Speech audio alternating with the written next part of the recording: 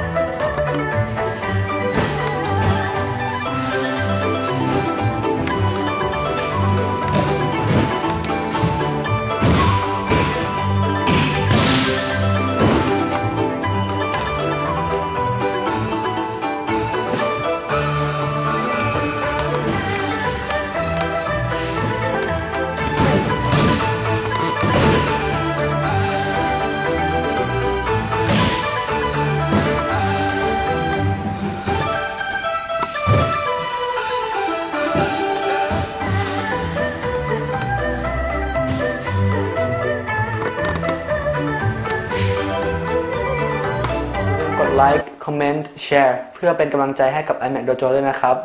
และที่สำคัญที่สุดอย่าลืมกดติดตามหรือ subscribe และกดกระดิ่ง เพื่อที่จะไม่พลาดคลิปต่อๆไปของเราด้วยนะครับ ขอบคุณครับ